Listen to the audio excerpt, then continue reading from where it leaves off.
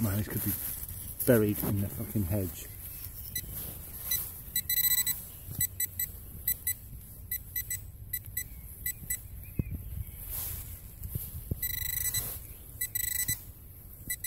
Ah, fucking shell casing. Fucking bullets. Ah, oh, god damn you, shell casing masters.